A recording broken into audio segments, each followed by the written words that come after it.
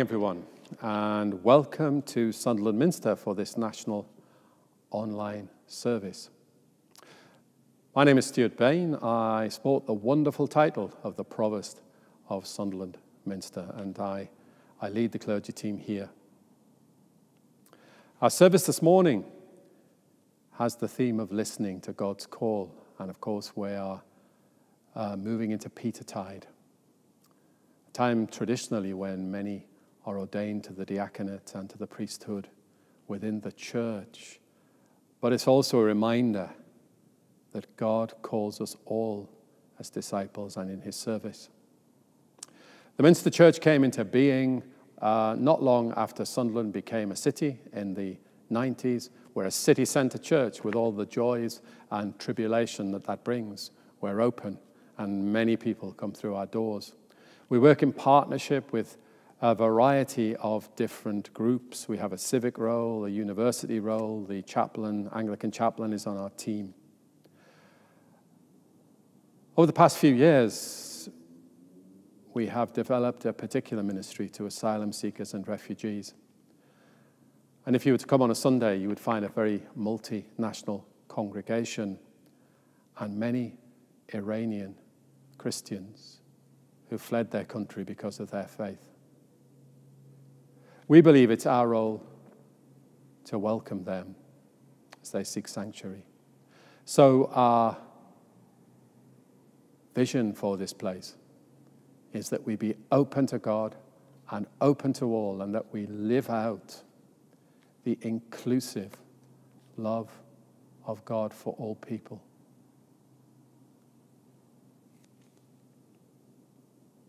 So we've gathered in this place and online for worship because Jesus invites us to come.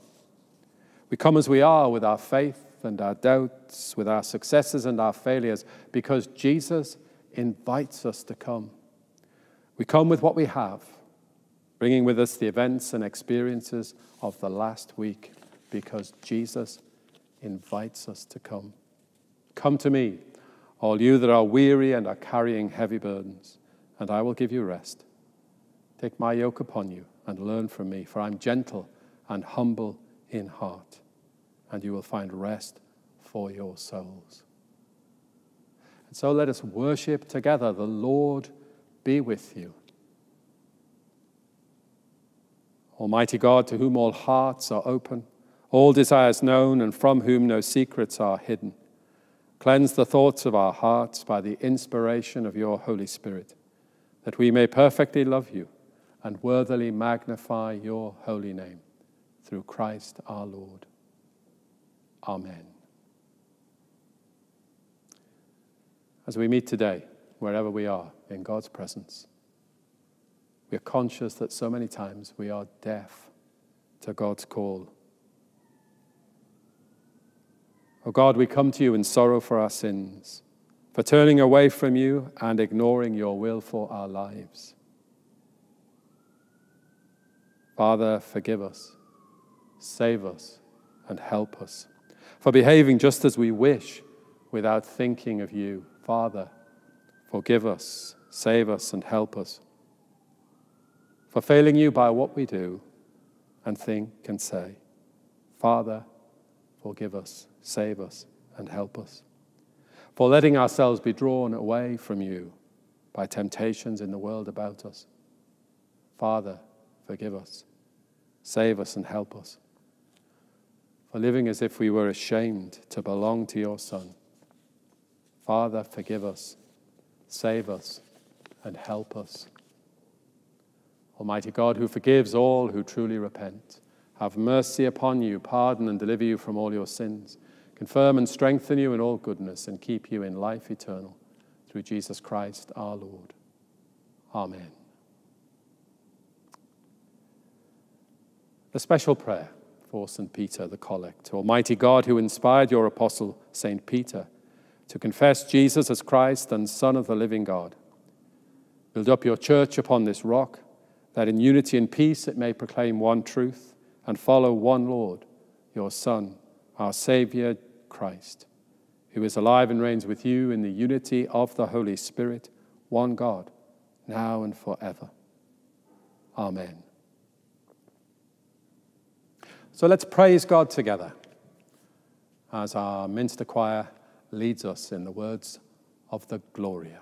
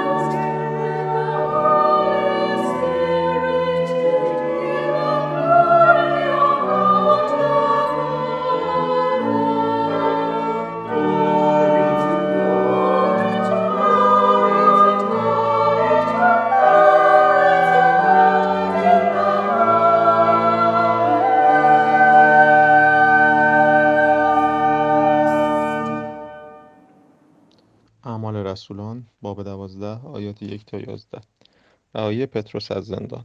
در آن زمان هیرودیس پادشاه دست ستم بر برخی از افراد کلیسا دراز کرد. به دستور او یعقوب برادر یوحنا را به شمشیر کشتند و چون دید این کار یهودیان را خوشنود ساخت گامی فراتر برداشت و پتروس را نیز گرفتار کرد. در این ایام عید رخ داد. هیرودیس پس از گرفتار کردن پتروس او را به زندان انداخت و چهار دسته چهار نفری را به نگهبانی او برگماشت و برام بود که پس از عید پسخ او را در برابر همگان محاکمه کند. پس پتروس را در زندان نگاه داشتند اما کلیسا با جدیت تمام نزد خدا برای او دعا می‌کرد. شب قبل از روزی که هیرودیس قصد داشت پتروس را به محاکمه بکشد او به دو زنجیر بسته و به میان دو سرباز خفته بود و نگهبانان نیز مقابل در زندان پاس می‌دادند. ناگاه فرشته خداوند ظاهر شد و نوری در درون زندان درخشید. فرشته به پهلوی پت پتروس زد و او را بیدار کرد. گفت زود برخیز. در دم زنجیرها از دستش فرو افتادند. فرشته به او گفت کمربندت را ببند و کفش بپا کن. پتروس چنین کرد. سپس فرشته به او گفت ردایت را بر خود بپیچ و از پی من بیا. پس پتروس از پی او از زندان بیرون رفت. اما باور نمی‌کرد که آنچه فرشته انجام می‌دهد واقعی است. بلکه گمان می‌کرد رویا می‌بیند. آنها از نگهبانان اول و دوم گذشتند و به در آهنینی رسیدند که روح به شهر باز می‌شد. دروازه خود به خود مقابل ایشان گشوده شد. پس بیرون رفتند و چون به انتهای کوچه رسیدند ناگهان فرشته ناپدید شد. آنگاه پتروس به خود آمد و گفت اکنون دیگر یقین دارم که خداوند فرشته خود را فرستاده و مرا از چنگ هیرودیس و آنچه قوم یهود در انتظارش بودند رهانیده است. آمین. I've already said that for Peter, the first thing was the call of Jesus to follow him, along, of course, with the other disciples. Come and follow me. We're going to hear now from one of our Minster community, Zoe, who came to faith during this time of lockdown. So, Zoe, tell us how you arrived in Sunderland. Um, I moved to Sunderland after I signed up to do my master's degree in film and television. How did you end up getting involved with the church? Um, it first started when I met Chris Howson, who is the university chaplain at the University of Sunderland. Um, he got me involved with some volunteer work. At first, it was um, helping out with the refugees and the asylum seekers within our community. I joined Feast on Sundays, which was online due to the pandemic, and then on Mondays I would join Soul Soup, and this allowed us to look at different Bible passages in depth.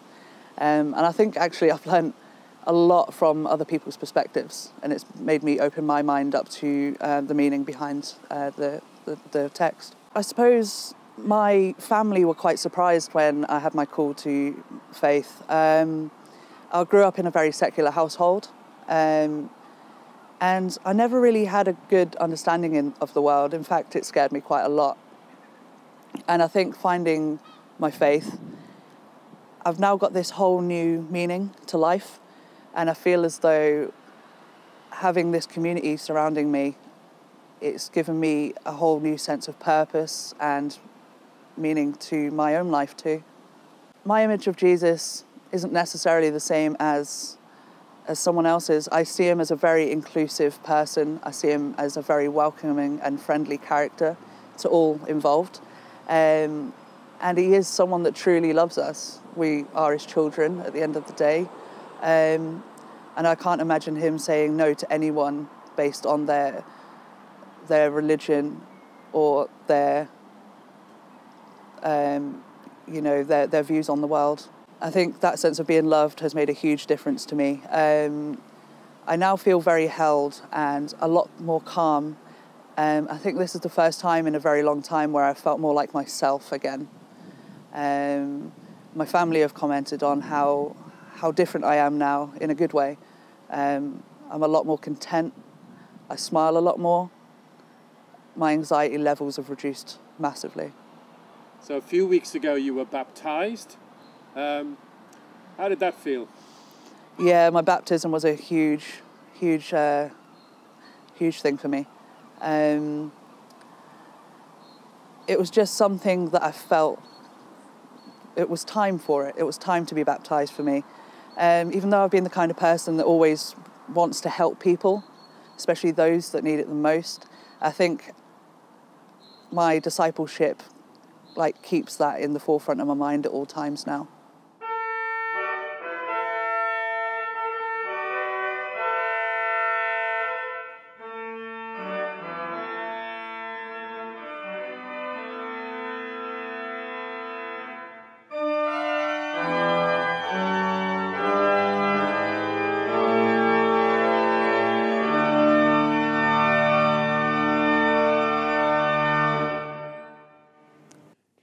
Gospel of Christ according to Matthew. Now, when Jesus came into the district of Caesarea Philippi, he asked his disciples, Who do you say that the Son of Man is? And they said, Some say John the Baptist, and others Elijah, and still others Jeremiah, or one of the prophets. He said to them, But who do you say that I am? Simon Peter answered, you are the Messiah, the Son of the living God. And Jesus answered him, Blessed are you, Simon, son of Jonah, for flesh and blood has not revealed this to you, but my Father in heaven. And I tell you, you are Peter, and on this rock I will build my church, and the gates of Hades will not prevail against it. I will give you the keys of the kingdom of heaven, and whatever you bind on earth will be bound in heaven, and whatever you loose on earth will be loosed in heaven. This is the gospel of Christ. I may speak in the name of God, who is Father, Son, and Holy Spirit. Amen. So you're working on the seashore doing your job as a fisherman. And Jesus comes along and invites you to join him. Come and follow me, he says. And Peter does. This is a remarkable story. We don't know if Peter knew of Jesus or whether he'd heard him preach. But the power of Jesus' call is so strong that Peter leaves his nets and begins a journey of faith. He's now on the road with Jesus, and what a journey that will be.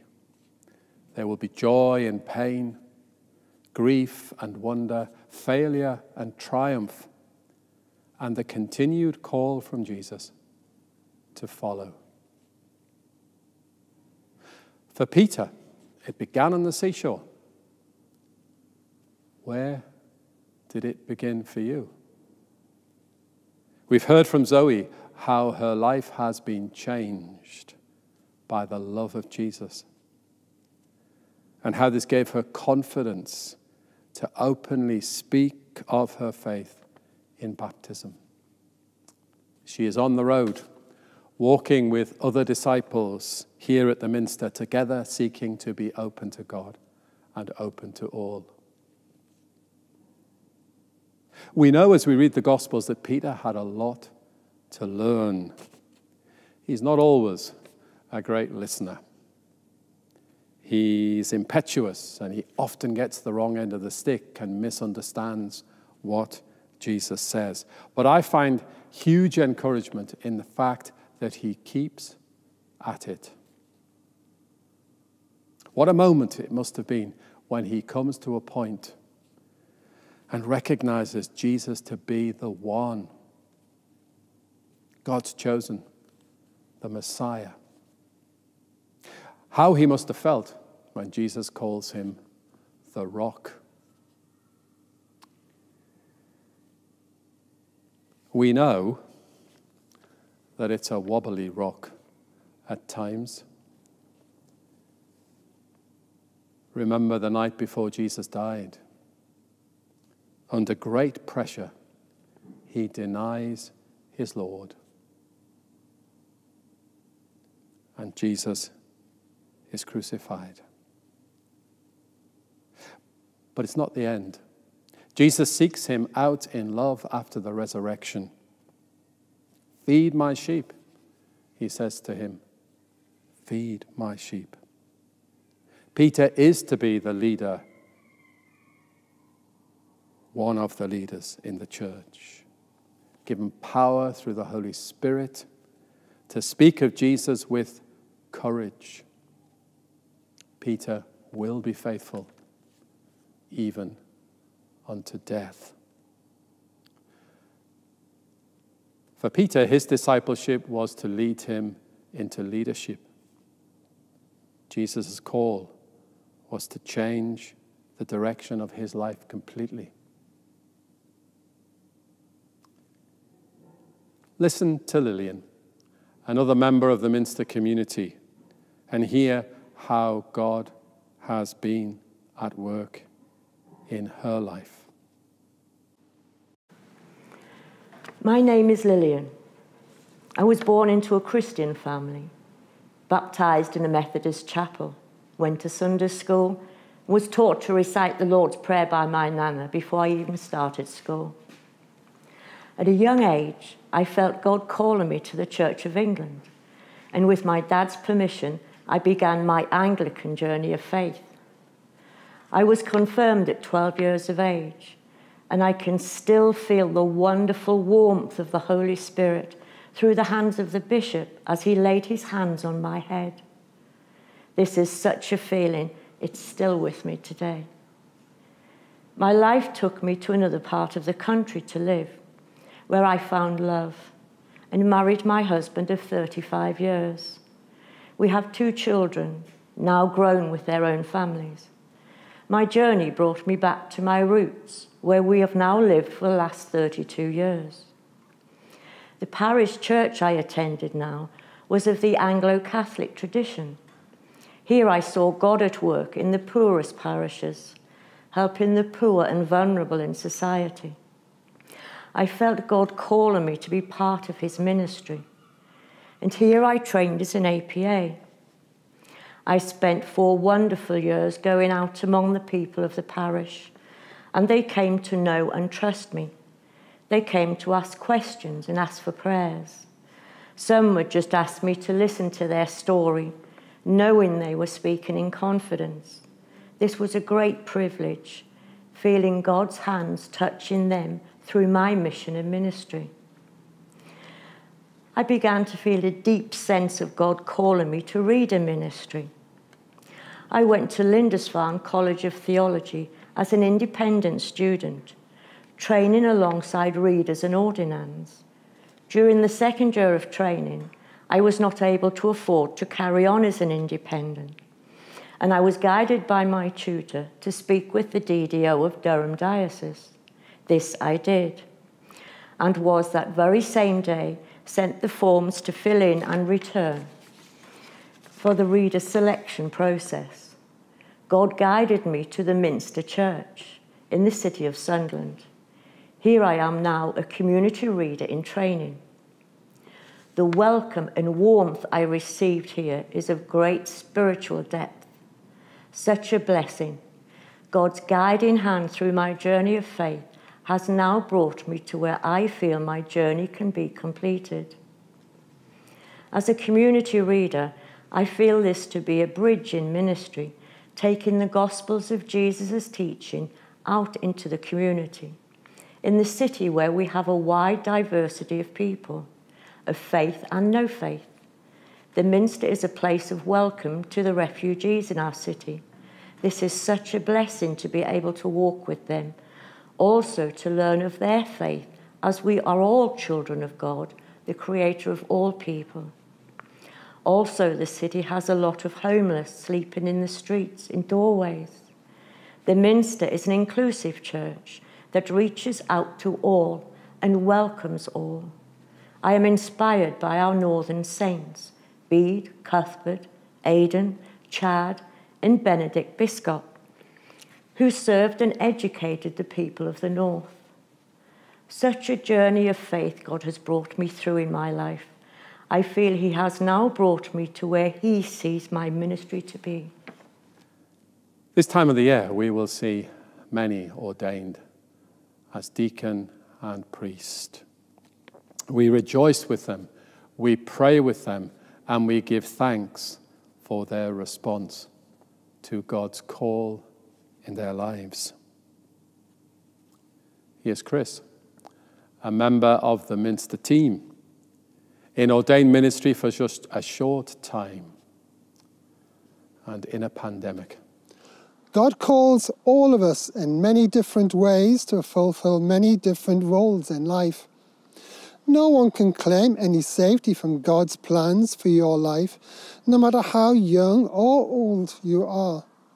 Sometimes He shouts at you so you cannot ignore Him. More often, it is through very gentle encouragement but you must give yourself time to learn to listen to Him.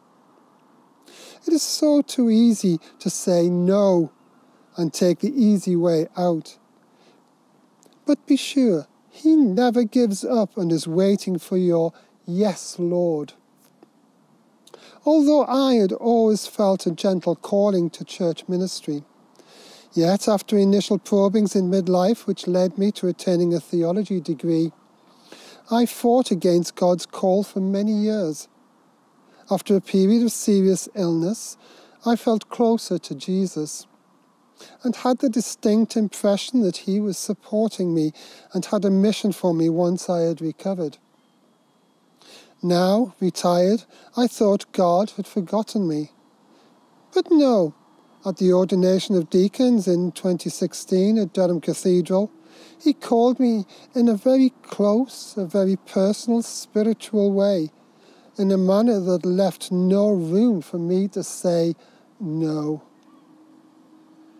After 50 years as a server at God's altar, I was eventually ordained deacon myself at Michaelmas in 2019 and priested at Sunderland Minster last Michaelmas under COVID restrictions.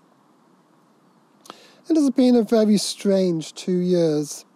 Just as I was starting my ministry, we were all thrown into a series of lockdowns with only a few weeks' grace in between to practice pastoral ministry face to face, albeit behind face masks.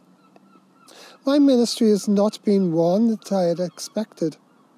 No funerals, no christenings or weddings, but rather having to learn new IT skills to spread God's word through online services, which reach out much further than our parish boundaries, across the country and beyond as well as learning to use Zoom for baptism and Bible classes, both in English and Farsi, using interpreters. This has led me to baptizing two Iranian and one Afghan refugee since lockdown was eased. This was all an experience which I will hold in my heart forever. Jesus says, Follow me. A call that echoes across the years from that seashore. Who knows where the call of discipleship will take us? As you walk with Jesus, know that He will ask things of you. Know that there will be things for you to do to share God's love. Be open to this and listen to that call. It will be costly. It will be hard. But there is always life there for us, the abundant life of Jesus. On St. Peter's Day, I will celebrate 40 years as a priest, all here in the Diocese of Durham. What a journey. Like Peter, there has been joy and sorrow, pain and grief, failure and successes. Soon I will retire from full time ministry, but I move into the next phase in the knowledge and the lived out experience that the one who calls is faithful. Is faithful. Always faithful. Listen to me, Jesus is saying. Listen to me. And the adventure will continue. Amen. Let us affirm our faith in Jesus Christ, the Son of God. Though he was divine, he did not cling to equality with God, but made himself nothing. Taking the form of a slave, he was born in human likeness. He humbled himself and was obedient to death, even the death of the cross. Therefore, God has raised him on high and given him the name above every name, that at the name of Jesus every knee should bow and every voice proclaim that Jesus Christ is Lord, to the glory of God the Father. Amen. We move now into a time of prayer. And our intercessions will be led by Jackie, who is one of the the Minster team.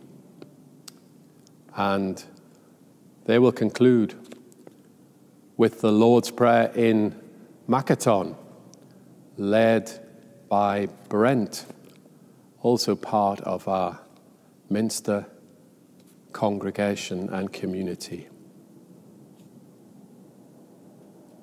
Our choir will lead us in the Taizé chant Ubi Caritas et amor, where there is love, God is there, And of course, we remember the call to love. Love our neighbours as ourselves.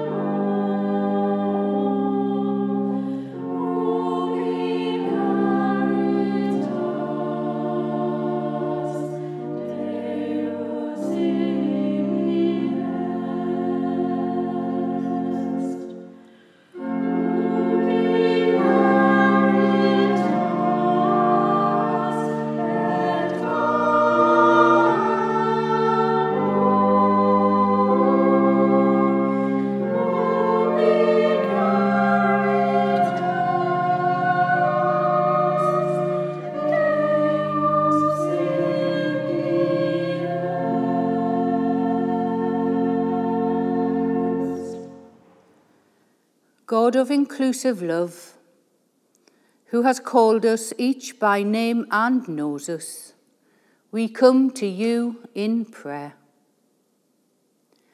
We give you thanks for your life changing gifts of love, mercy, and grace.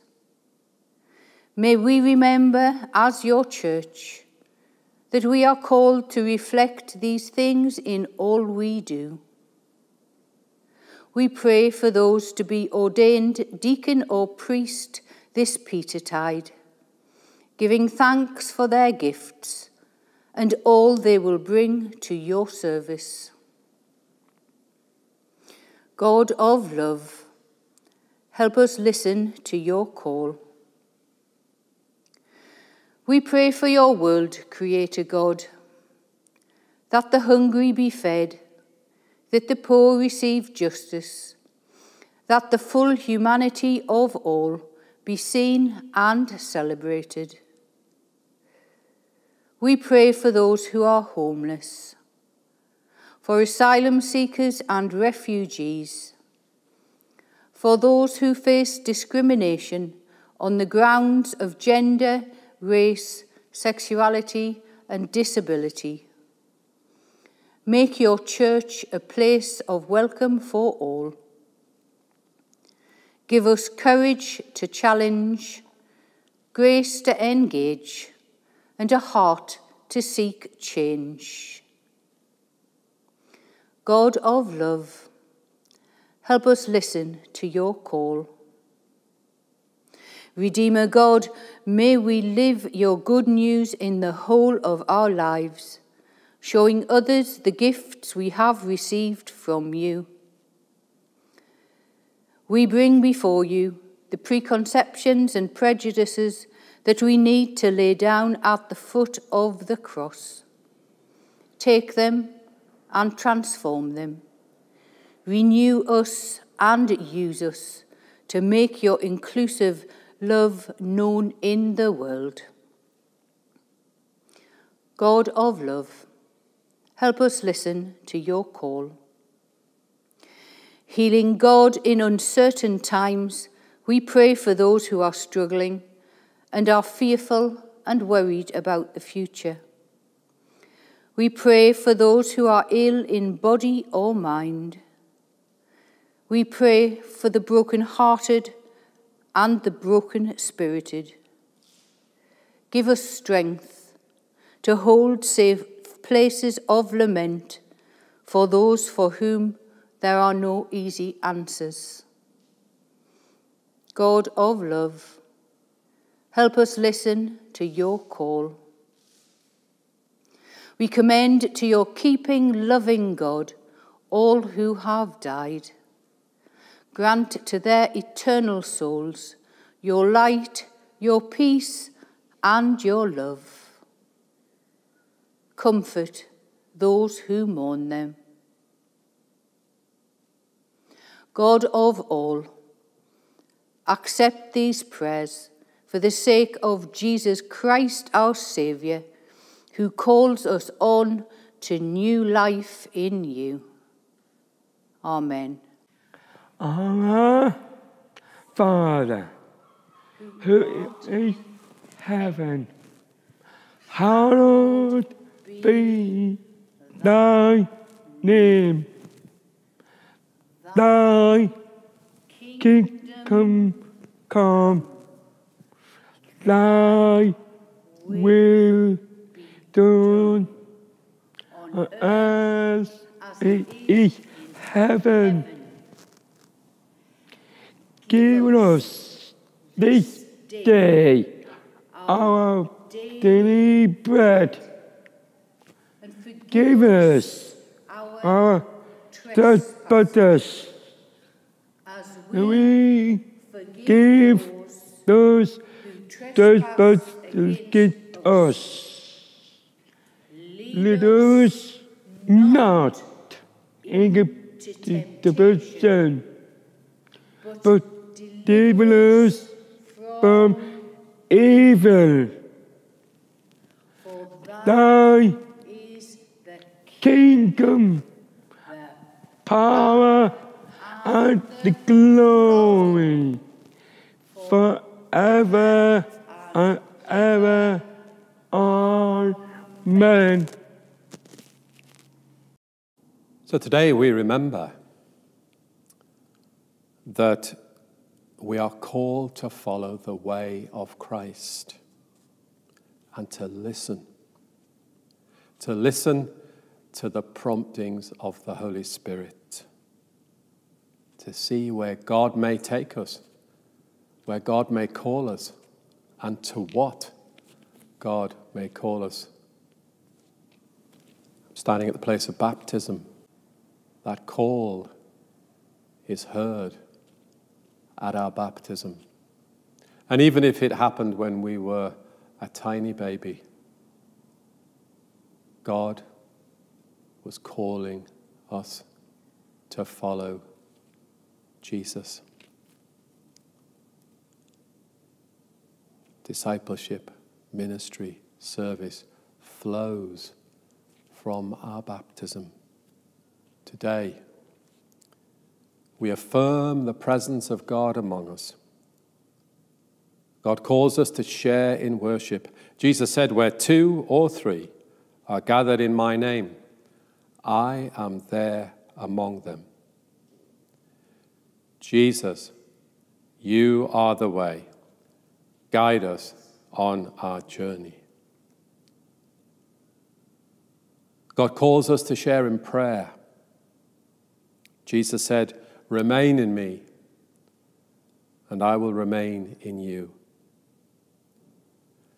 Jesus, you are the way. Guide us on our journey. God calls us to share the scriptures. Jesus met his disciples on the road and opened the scriptures to them. Jesus, you are the way.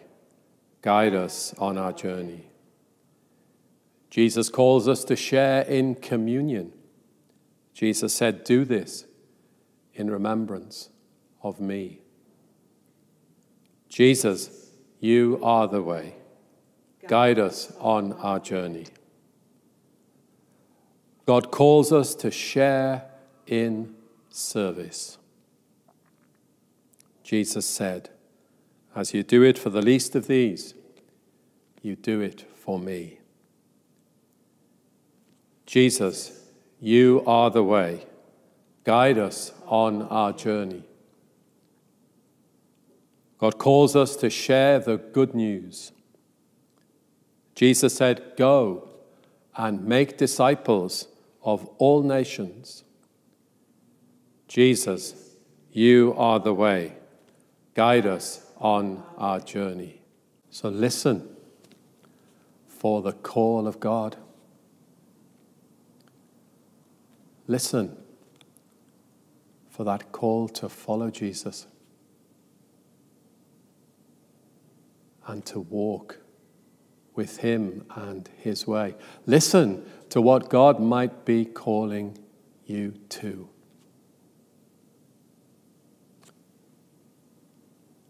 To work out your love for God, to work out your love for your neighbors.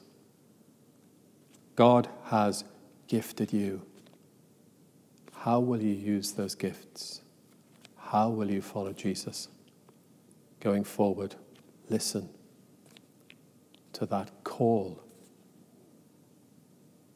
And it's always remember a call of love. So let's remember that we are the body of Christ. In the one Spirit, we were all baptized into one body. So let's pursue all that makes for peace and builds up our common life. The peace of the Lord be always with you. And also with you. And the blessing of God Almighty, the Father, the Son, and the Holy Spirit be upon you and remain with you always. Amen. So, wherever we are, we go in peace to love and serve the Lord. In the name of Christ. Amen.